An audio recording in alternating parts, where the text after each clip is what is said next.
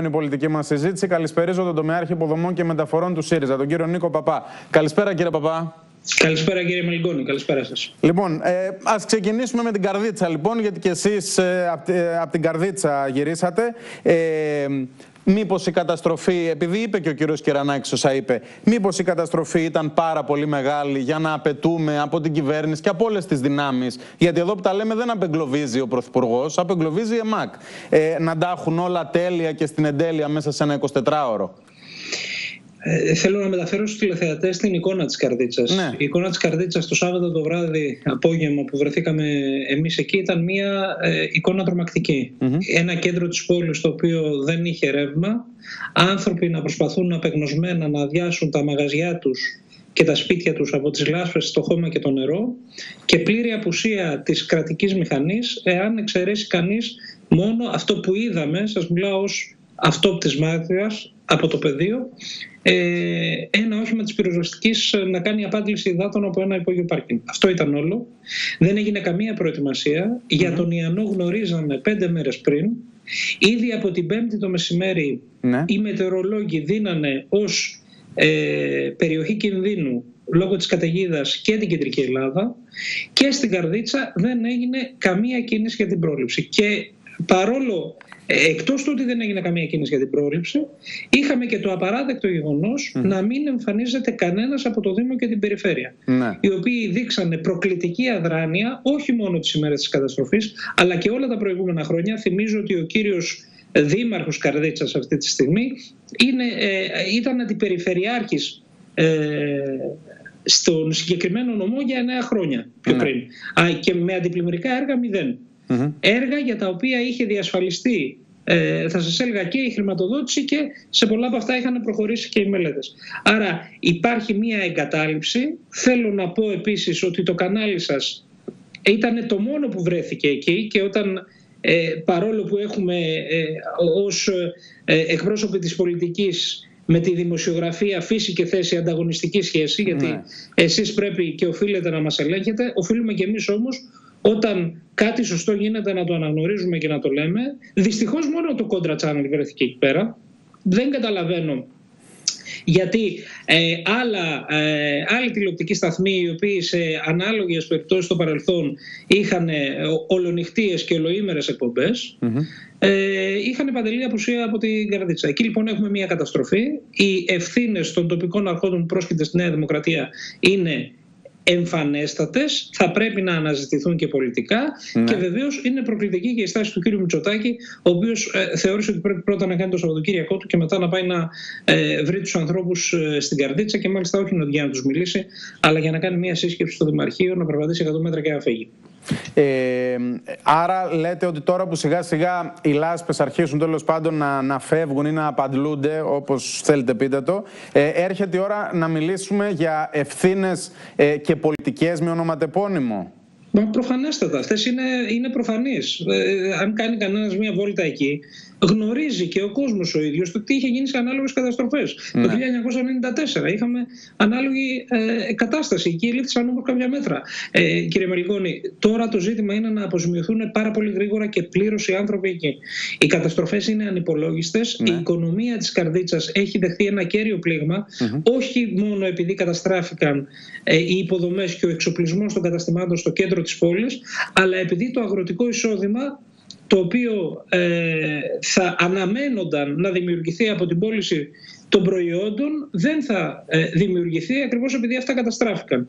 Και αυτό το αγροτικό εισόδημα είναι που κρατούσε και την οικονομία συνολικά και της πόλης και του νομού ε, στα πόδια της. Άρα πάρα πολύ γρήγορα υπάρχει, ε, θα σας έλεγα, θεσμική μνήμη στο κράτος για το πώς μπορεί να γίνουν αυτά. Γίνανε με πάρα πολύ αποτελεσματικό τρόπο στο παρελθόν γρήγορα τα χρήματα να δοθούν στον κόσμο, να δοθούν οι αποζημιώσεις. Εμείς θα τα παρακολουθούμε κάθε μέρα και ε, δείξαμε ότι ήμασταν από την πρώτη στιγμή εκεί. Ξέρετε κύριε Παπά γιατί σας ρωτάω για το θέμα των πολιτικών ευθυνών γιατί ως κυβέρνηση είχατε υποστεί ε, σε φυσικές καταστροφές, σε θεομηνίες, σε πλημμύρες, ε, σε πυρκαγιές κλπ. κλπ. Ε, την, αυτό που εσείς καταγγέλατε ως πολιτική εργαλειοποίηση αυτής της ε, ιστορίας. Οπότε αναρωτιέμαι τι θα απαντούσατε σε κάποιον ή κάποια που τώρα μπορεί να μας βλέπει και να λέει ο παπάς κάνει ό,τι έκαναν πριν τρία χρόνια στη Δούρο ας πούμε. Όχι, ε, θα σας έλεγα να θυμηθούμε όλοι μαζί το τι είπε ο ίδιος ο Αλέξο Τσίπρας, τότε mm. Πρωθυπουργός, στη συνεδρίαση του Υπουργικού Συμβουλίου που έγινε μετά τα δραματικά αυτά γεγονότα. Ναι. Είχαμε την πλήρη ανάληψη της πολιτικής ευθύνης. Εδώ πέρα όμως κάποιοι δεν μπορούν να σφυρίζουν αδιάφορα. Θα πρέπει να εξηγηθούν αν υπήρχαν δρομολογημένα αντιπλημμυρικά έργα και σχεδιασμένα και δεν γίνανε. Ναι. Αυτό δεν μπορεί να μείνει ε, κάτω από το χαλί. Δεν μπορούμε να τα αφήσουμε. Λοιπόν, ε, προέχει αυτή τη στιγμή, επαναλαμβάνω, το να αποζημιωθούν οι άνθρωποι πλήρως και γρήγορα, γιατί θα έχει δομικό πρόβλημα η πόλη αυτή. Εάν ναι. δεν συμβεί αυτό, η οικονομία της θα υποστεί πλήγμα μακροχρόνιο πλέον. Και βεβαίως σε ένα δεύτερο επίπεδο θα συζητήσουμε και για τις πολιτικές ευθύνες. Ε, κύριε Υπουργέ, για να περάσουμε λίγο στα του κορονοϊού, αυτό το περίφημο δίλημα που εξέθεσε σήμερα στο τηλεοπτικό του μήνυμα ο κύριος Μισωτάκη, αυτοπροστασία ή καραντίνα, πώς το διαβάζετε; Το διαβάζουμε ως μια χιδαία ε, να πείσει ότι για όλα αυτά ο κόσμος. Τη στιγμή που οι ευθύνες και η, ε, θα σας έλεγα, επιπολαιότητα με την οποία διαχειρίστηκε και το θέμα της πανδημίας ε, ο κύριος Μητσοτάκης και η συναυτό είναι ε, παραπάνω από προφανής. Δεν έχει ε, ευθύνη ο καθένας και κάθε μία από εμάς να φοράει τη μάσκα του, να τηρεί τις αποστάσεις και, την έχει δείξει και την έχει επιδείξει την ευθύνη αυτή. Ο λαός μας, πειθάρχησε στα περιοριστικά μέτρα, πήραμε περιοριστικά μέτρα, υποτίθεται για να προετοιμάσει ο κύριος Μητσοτάκης και οι υπεύθυνοι υπουργοί ναι. την, ε, τις δομές υγείας και την ε, οικονομία και την κοινωνία για την επόμενη μέρα. Και δεν έγινε τίποτα τέτοιο. Έτσι, είχαμε το άνοιγμα του τουρισμού χωρίς κανέναν έλεγχο, είχαμε εισαγόμενα κρούσματα έξω από ε, κάθε ε, προβλεπόμενη, ε, προβλεπόμενο έλεγχο και βεβαίως τώρα είμαστε στην κατάσταση όπου προφανώς το μεγάλο αστικό κέντρο η Αθήνα γίνεται ο πυρήνας της διασποράς του ιού μέσα στην κοινότητα. Ναι. Και εδώ πέρα υπάρχουν και ευθύνες για το πώς συμπεριφέρονται και το πώς πολιτεύονται στα μέσα μαζικής μεταφοράς. Είδα ε, τον κύριο Μητσοτάκη να δίνει νόημα και ουσία στην ε, φράση πολιτικός απαταιώνας. Σήμερα ε, λέγοντας ότι έχουν αυξήσει τα, τα δρομολόγια και τις πυκνότητες και τις συχνότητες των δρομολογίων αλλά και ε, τα οχήματα. Είναι κάτι το οποίο προφανώς δεν ισχύει. Έτσι. Δεν ισχύει λέτε τα 250 λεωφορεία. Δεν ισχύει. Ο κύριος, ο κύριος Μητσοτάκης μετράει τα λεωφορεία τα ιδιωτικά τα οποία θα ενσωματωθούν στο στόλο. Η κυβέρνηση του ακύρωσε διαγωνισμό 750 υπερσύγχρονων λεωφορείων και προσέξτε εδώ θέλω να το πω κάτι και να το υπογραμμίσω. Τον ακύρωσε το διαγωνισμό μεταξύ άλλων ή και κυρίω κύριε ναι. Μελιγκόνη, διότι ξέρετε τι προέβλεπε ο διαγωνισμός που είχαμε δρομολογήσει, σχεδιάσει και ε, ήταν για τα τέλη του 19 να ε, διεξαχθεί. Προέβλεπε ότι ο αναδοχος θα αναλάβει τα ανταλλακτικά και το σέρβις. Τι σημαίνει αυτό; Σημαίνει ότι δεν θα υπήρχε περιθώριο για απευθείας αναθέσεις και έξτρα δουλειές. Όποιος έπαιρνε λοιπόν, την, όποιος κέρδιζε αυτό το διαγωνισμό θα προμήθευε το δημόσιο με τα λεωφορεία και θα ήταν υποχρεωμένος ναι. να τα έχει και σε άψογη κατάσταση και ως προς τα ανταλλακτικά και ως προς το σέρβις. Άρα αυτά θα κυκλοφορούσαν τώρα λέτε τα 750. Και τώρα ξέρετε που πάνε, πάνε σε μια λύση να πάρουν ε, συμβατικά τουριστικά λεωφορεία τα οποία δεν ταιριάζουν στις προδιαγραφές των αστικών μεταφορών και συγκοινωνιών. Ναι. Έτσι, είναι λεωφορεία στα οποία απαγορεύεται να είσαι όρθιος, για παράδειγμα. Ναι, έχουν δύο ε, πόρτες κλπ. Άρα λοιπόν εδώ έχουμε μία ε, καθυστέρηση η οποία έχει, ε, θα σας έλεγα, δύο πτυχές. Η μία είναι η έμεση ιδιωτικοποίηση του μεταφορικού συγκοινωνιακού έργου με τα λεωφορεία και η άλλη πτυχή είναι ακριβώς ότι δίνεται περιθώριο πλέον να υπάρχουν και άλλες υπεργολαβίες. Και επειδή η κυβέρνηση αυτή είναι πρωταθλήτρια mm. στις απευθείας αναθέσεις, δικαιούμεθα και εμείς, αλλά και ο κόσμος που μας ακούει, να είμαστε πάρα πολύ καχύποπτοι. Και είναι ένας κόσμος ο οποίος πληρώνει καθημερινά αυτή την αβελτηρία. Αυτή τη στάση, αυτή τη μεθόδευση απαξίωσης των δημοσίων συγκοινωνιών. Έτσι δεν είναι; Τα βλέπουμε τα φαινόμενα και τις εικόνες του συνοστισμού και στις αποβάθρες αλλά και στις τάσεις και μέσα στα λεωφορεία. Ε, κύριε Παπά, κατηγορήσατε πριν τον κύριο Μητσοτάκη ότι δίνει, δίνει τον ορισμό, δίνει, δίνει υπόσταση στην έννοια του πολιτικού απαταιώνα. Άρα υποθέτω διαφωνείτε με την, ε, στα, με την άποψη Τσακαλώτου ότι πρέπει εσείς στο ΣΥΡΙΖΑ να είστε φιδωλοί με τη χρήση τέτοιων όρων προς τους πολιτικούς σας αντιπάλους; Είμαστε πάντα προσεκτικοί όταν τη χρησιμοποιούμε και όταν τη χρησιμοποιούμε το εννοούμε. Και σε αυτή την περίπτωση νομίζω ταιριάζει Ο ίδιος ο κύριος Μητσοτάκης είναι, θα σας έλεγα, η προσωποποίηση της πολιτικής απάτης. Ναι. Βλέπουμε επεισόδια αυτής της πολιτικής απάτης να εξελίσσονται μπροστά στα μάτια μας ε, λένε οι βουλευτές του κάτι ακατάληπτα, όπως άκουγα προηγουμένως, για τη Συμφωνία των Πρεσπών. Είναι λοιπόν πολιτικοί απαταιώνε με ή χωρίς περικεφαλαία. Τα πράγματα είναι πάρα πολύ απλά. Mm-hmm. Τις λέξεις δεν πρέπει να τις φοβόμαστε. Απαταιώνας είναι αυτός που συστηματικά εξαπατά πολλούς για ιδίων όφελος. Και σε αυτόν τον ορισμό ναι. ταιριάζει πλήρως λοιπόν ε, ο τρόπος με τον οποίο πολιτεύεται ο κύριος Μητσοτάκης και η, η ΣΥΝΑΤΟ και στα θέματα της οικονομίας και στα εθνικά και βεβαίως ε, το διαπιστώνουμε τώρα και στο ζήτημα της πανδημίας, όπου με χιδαίο τρόπο προσπαθεί προκαταβολικά να περάσει την ευθύνη στον κόσμο. Θόλωσε η παρέμβαση Τσακαλώτου, κατά τη γνώμη σας, στο μήνυμα του ΣΥΡΙΖΑ. Θέλω να πω, δεν έχει περάσει καν εβδομάδα από όσα είπε ο κύριος Τσίπρας στη Θεσσαλονίκη. Ε, και σήμερα η επικαιρότητα περί το ΣΥΡΙΖΑ είναι ότι κάνετε πειθαρχικό, ότι ο πρόεδρός σας προειδοποιεί για κυρώσεις όποιους συνεχίζουν, λέει, να διευκολύνουν την κυβέρνηση. Είναι σαν να έχει περάσει πολύ καιρός από τη Θεσσαλονίκη, αλλά είναι μόλις Πέμπτη, ε. Ε, από τη Θεσσαλονίκη δεν έχει περάσει πολύ καιρό και ναι. τα μηνύματα εκεί ήταν πάρα πολύ σαφή. Ο Αλέξο Τσίπρας είπε πρώτον ότι ε, είμαστε έτοιμοι από χθες ε, για να αναλάβουμε τις τύχες της χώρας όταν ερωτήθηκε. Είπε ότι αναμένει 158 συγγνώμες προς το λαό τον οποίο ε, εξαπάτησαν αυτοί που τον εξαπάτησαν και είπε ότι προκρίνουμε μια νέα κοινωνική συμφωνία. Αυτά ήταν τα, ε, θα σας έλεγα, συμπαγή μηνύματα και μετά από αυτά τα συμπαγή μηνύματα δείξαμε και πάρα πολύ σοβαρά αντανακλαστικά σε σχέση με την παρουσία μας και την πολιτική μας παρέμβαση στα σημεία στα οποία ε, έχουν υπάρξει φυσικές καταστροφές. Θέλω να πω ότι δεν έχει υπάρξει γωνιά στην Ελλάδα που να μην βρίσκεται αυτή τη στιγμή στέλεχος του ΣΥΡΙΖΑ για να ενημερωθεί ε, ναι. ε, με, από κοντά για το ποιες είναι οι ζημιές, ποια, ποια είναι τα προβλήματα και να πιέσουμε ούτως ώστε να δοθούν λύσεις. Τώρα από εκεί και πέρα ο διάλογος στα κόμματα είναι θεμητός. Πρέπει εμείς τα στελέχη να κοιτάμε να τον εξαντλούμε πρώτα στα όργανα και μόνο ε, σε περιπτώσεις οριακές να διατυπώνουμε τη διαφοροποίησή μας.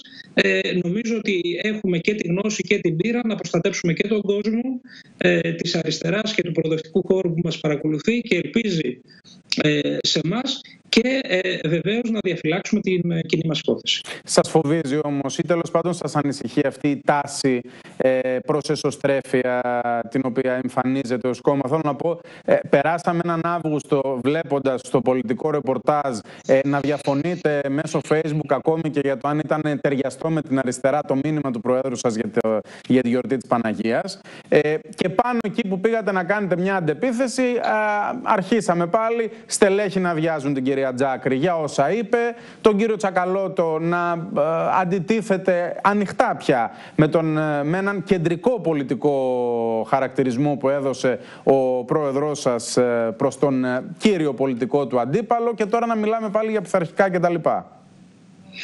Ε, για το τελευταίο πρέπει να σας πω ότι ο καθένας από εμάς αναλαμβάνει και την ευθύνη όσων δημοσίως διατυπώνει. Αλλά είμαι απολύτως βέβαιος ότι η όποια ε, συζήτηση αναπτύσσεται μέσα στις γραμμές μας είναι μια συζήτηση η οποία ε, είναι δημιουργική, κλείνει πάρα πολύ γρήγορα και από την επόμενη στιγμή αφοσιωνόμαστε στο κεντρικό συνταγματικό μας δημοκρατικό καθήκον ε, του να κάνουμε σοβαρή, υπεύθυνη, και μαχητική αντιπολίτευση απέναντι στη Νέα Δημοκρατία η οποία απογοητεύει ε, κατά κύματα μεγάλα κομμάτια του ελληνικού λαού.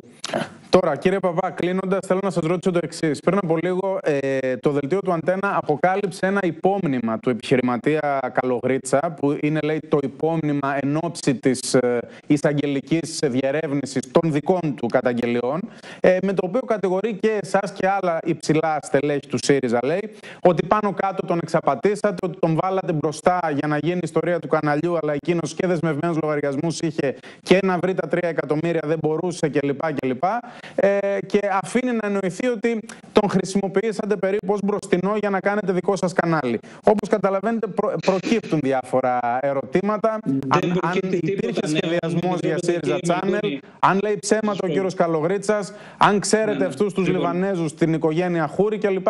Δεν προκύπτει τίποτα καινούριο. Όλα αυτά ναι. έχουν απαντηθεί. Εδώ υπάρχει ένας πόλεμος από πάρα πολύ συγκεκριμένα συμφέροντα, τα οποία δεν μπορούν να ξεχάσουν ότι η δική μας διακυβέρνηση έβαλε το δάχτυλο στην πληγή. Εξαγωγή. Τους έβαλε να πληρώσουν, εισπράξαμε 150 εκατομμύρια από το φόρο διαφήμισης, τους βάλαμε να πληρώσουν για τις άδειες. Είναι ένας ε, διαγωνισμός ο οποίος διεξήχθη και κρίθη σε όλα του τα στάδια και στο επίπεδο ε, ε το πριν τη διεξαγωγή του και κατά τη διεξαγωγή του και μετά τη διεξαγωγή του από το ανώτατο ακυρωτικό δικαστήριο και είναι μια διαδικασία με βάση την οποία το Εθνικό Συμβούλιο Ραδιοτηλεόρασης χρέωσε τους τηλεοπτικούς σταθμούς για την άδεια, πράγμα που έγινε για πρώτη φορά ε, μετά από 30 χρόνια. Αντιλαμβάνεται όμως ο κόσμος, νομίζω, ότι ε, εδώ πέρα πρόκειται για μια φτηνή διαδικασία αντιπερισπασμού, η οποία είναι κενή περιεχομένου και θα σας έλεγα ότι δείχνει ότι δεν έχουν και κανένα ίχνος ντροπής. Διότι εμείς εκεί πολιτευτήκαμε με τρόπο που προασπίζει το δημόσιο συμφέρον. Για πρώτη φορά εισπράξαμε χρήματα